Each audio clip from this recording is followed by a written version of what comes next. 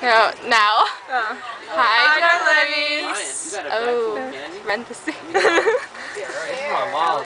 Miss you. I have some if. I gotta go now because we're getting people on our bus. I'll see you later.